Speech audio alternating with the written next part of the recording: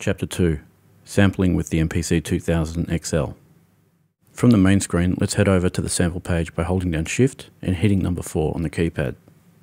From the top left, I can see that my input is currently set to analog. If I've got the 8 individual output expansion, I can change that to digital using the data wheel. But I'm not going to actually record from the digital input today because I've got nothing connected to the digital input. But if I wanted to sample from the digital input, I just have to make sure that the source of my digital signal is outputting 16-bit 44.1 kHz. So let's move across to mode. And here I can see that the MPC is ready to record in stereo. However, I've only got one audio jack connected to the rear of the MPC sample input. So I need to change the mode to mono so I don't record two channels. And I can choose mono right or mono left. So I'm going to use mono left. So if we move across to monitor, the L slash R represents the left and right main stereo output. So we can disable that using the data wheel to off. Or if we have the eight individual outputs, we can actually select one of the four pairs of the individual outputs. So if I set that to off and play some audio into the MPC sample input, we can see that the audio is metering, but we're not hearing anything. So if I turn the monitor input on,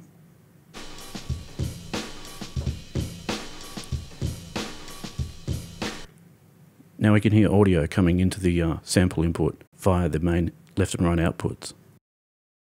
So if we draw our attention to what's going on in this little level meter window, we can see some strange little blocks that have appeared on the uh, left channel and so the grey block that we can see at the far right side, that's a measurement of the loudest peak from the previous audio signal that came into the MPC sample input. The outlined cursor we have under the word meter represents the threshold. So if I cursor over to threshold, I can change that.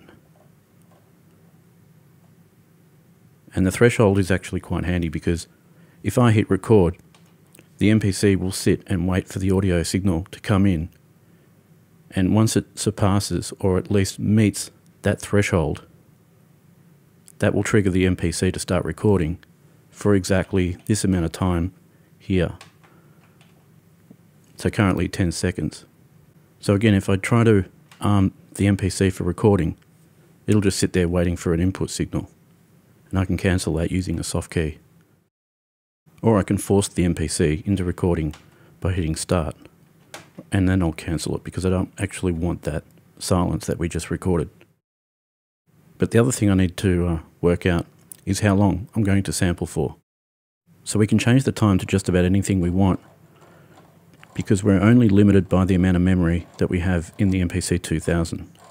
So if yours is maxed out like this one is, at 32 megabytes, then you can sample for 378.6 seconds.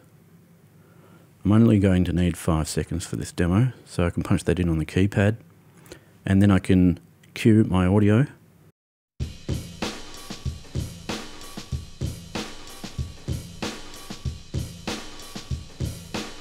Now the thing to note is that this grey block that represents the peak can be reset with a soft key, but I also can add more gain on the input by adjusting the uh, record gain knob here.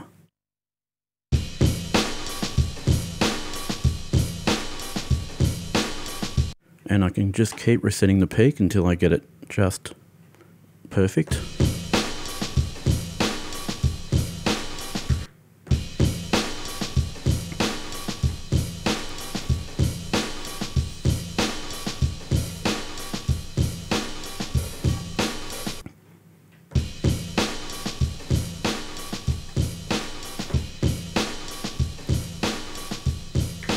Okay, that's fine. Now I'll adjust the threshold one last time and try to get that at a nice level as well. And we also have this pre-rec option over here. So pre-record is quite a useful feature because it will retain up to 100 milliseconds of audio just prior to the threshold being tripped. And in many cases, it will have the attack or the start of your loop if your threshold wasn't set correctly and you clip the front of your sample. So you can consider that as a bit of a safety net when sampling. There aren't many options hidden on this screen, so we've pretty much covered everything that we can see here. These are all just going to report the same amount of memory that we have. Let us know how many megabytes we've got installed. So I'll just set this uh, threshold to something sufficient and then cue some audio for sampling.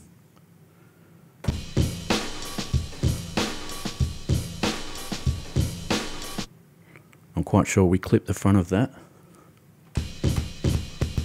Yep, we did. So the funny thing is, I can actually name it from here as well. So I'll just use my soft keys again.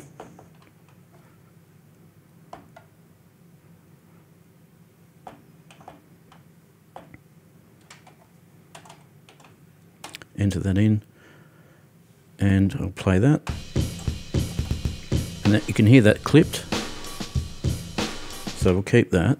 So by holding down shift and hitting number 5 on the keypad, you end up on the trim page and this is where you flip your sample. You can reverse it, you can loop it, crop it, convert it to a different bit rate, sample rate.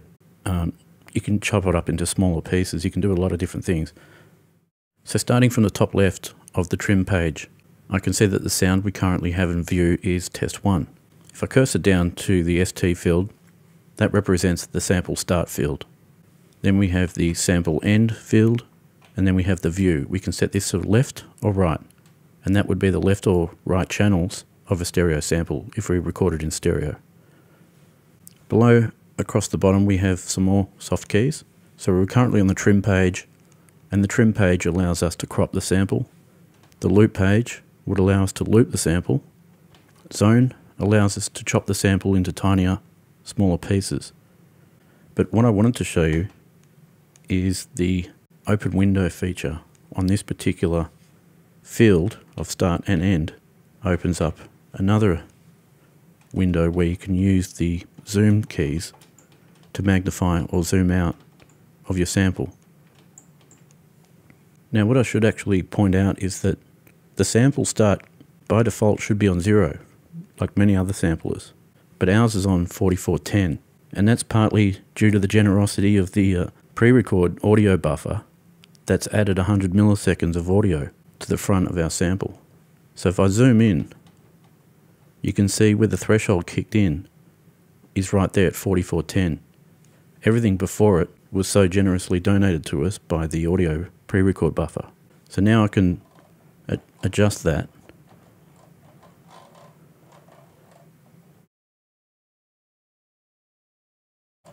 and get right in there and fine tune it to exactly where I wanted it.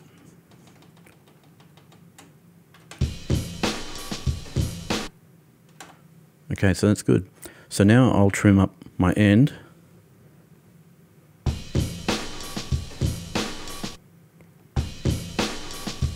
And I'll just look under the microscope, see exactly where the end is.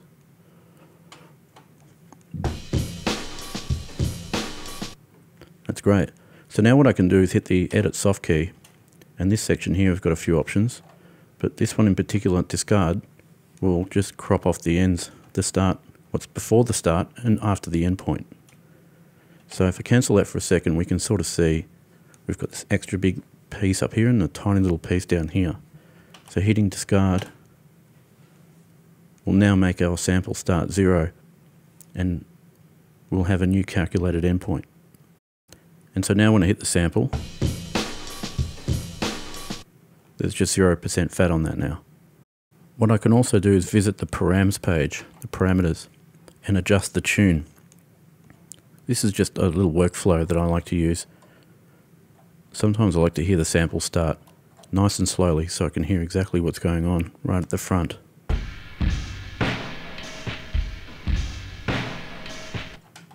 Alright, that's pretty good. So now what we'll do is we'll move across to the loop page and with the data wheel we can change loop to on and the loop points are the whole sample. So and if I hold that down it should just loop forever. Which is good.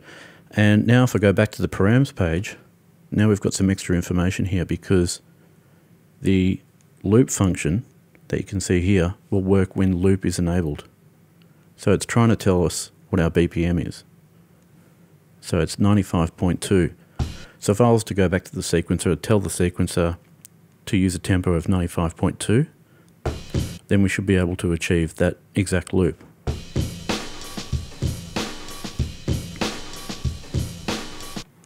So that's handy as well. Alright, so just getting back to the loop we can adjust the start point of our loop, again by holding down shift and using the note, note variation slider. Or we can just move it with the data entry knob, or we can type in exactly what we want. Uh, or we can jump in larger amounts of data wheel increments as well. But we also have this other feature. If we hit open window, we can change the loop length to fixed. And so now if I shut this window, you can see that when I move the to field, the end is moving with it. So it's almost like it's going to retain the length. So which is another good feature if you need to uh, try to get the loop points accurate without them clipping. So if we move across now to zone, so if we cursor over to zone and hit open window, we can nominate any number up to 16. So I'll make it 8 and hit the soft key, do it. So now you can see that my sample's been divided into 8 zones. And this is usually the point where I would change play X to zone. So now when I hit play X, it's just going to play the zone. So I can flick through the zones and hit play X.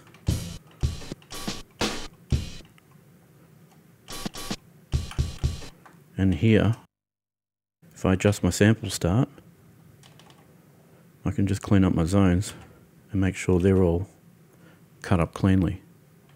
And I can use my open window feature on the different zones to trim them accordingly.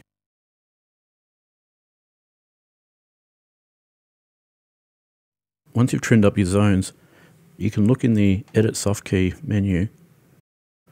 I've got a few different options I can do in here as well. I can time stretch, I can reverse a section, silence a section, delete a section, um, grab a new sound and insert it into a zone. Um, there's a whole bunch of different options in here, discard. But the one I'm going to show you right now is the slice sound option. And what this will do is it will take all those little zones and cut them up into little pieces, into eight little pieces, just like I have zones. And then it'll add a little safety buffer to the end of it of a margin of 30. And if I want, I can put yes to create a new program, which will then allow me to go straight to the sequencer and just start recording with it. So let's just have a look at that now. If I hit do it, and now visit the main screen, we can see that there's a a program sitting on track one called test one. So now these are my zones all cut up onto pads.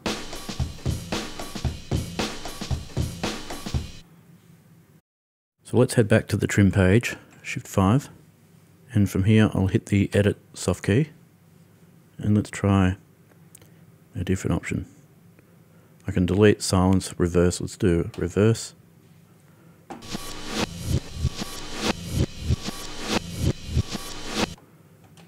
If you've got your cursor on the name of your sound, you can also click open window and we'll just quickly run through these other options at the bottom. Delete, you can delete just the sound or you can delete everything in memory. Sometimes that's handy if you need to purge everything out of memory. You can copy the sound if you need to make a backup or if you want to do a, an alternate edit to one of the sounds. And here you can adjust the name of your um, copy if you need to. Uh, and again, you can copy the, the name if you need to do loads and loads of little edits on all different sounds. You can copy the name so you're not smashing in the buttons every time you need to rename a sound. And then we've got a convert option. Now we could convert a mono to stereo file, but that's not as exciting as this resample. And in here we can convert our 16-bit samples into 12-bit or 8-bit samples. And we can also nominate whatever frequency as well. I'm not going to do a demo of that because it takes a long time to process. So I'll let you guys experiment with those. Uh, if we get out of there, and if we head over to the edit page, we've already seen what discard does. We can loop from start to end. That just, it's like a quick way of moving your end and start points. Um, you can copy a section, uh, like for example where your start and end points would be, to a new sound. You can insert another sound into the section start. Um, so it's got to be another sound in memory, and you nominate that here. You can delete a section. Obviously, this is all based on your start and end points. You can silence a section, reverse a section, and you can time stretch. And again, time stretch takes a hell of a long time to process, so I won't be doing any time stretches here. But if you've got one, experiment with it because um, you can get some great effects out of the uh, time stretch algorithms on these. I'll just take you through some of the other options that are available to you through the PlayX Audition soft key. Zone obviously is intended for the Zone tab, so you can audition your various slices. Uh, the other option before ST is more of a uh, trim audition feature. Uh, before ST represents the start here. So if I was to change this to this little section here, hitting play X will now play this portion of audio at the start, up to the sample start. Here on before TO, this is intended for the uh, loop tab, and similar again, on the loop tab, we've got loop TO instead of sample start. So if I change this up to this point, play X will now play this portion of audio.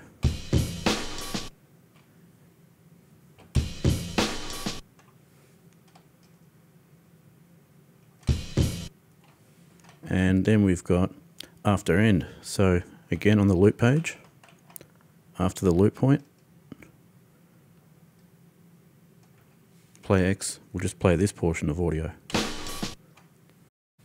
And that's, uh, that's pretty much it. And then you've got all, which will play everything. So thanks for watching. That concludes chapter 2, sampling on the MPC 2000 XL. And if you found this helpful, be sure to like, subscribe, and leave any questions or comments in the comment area below.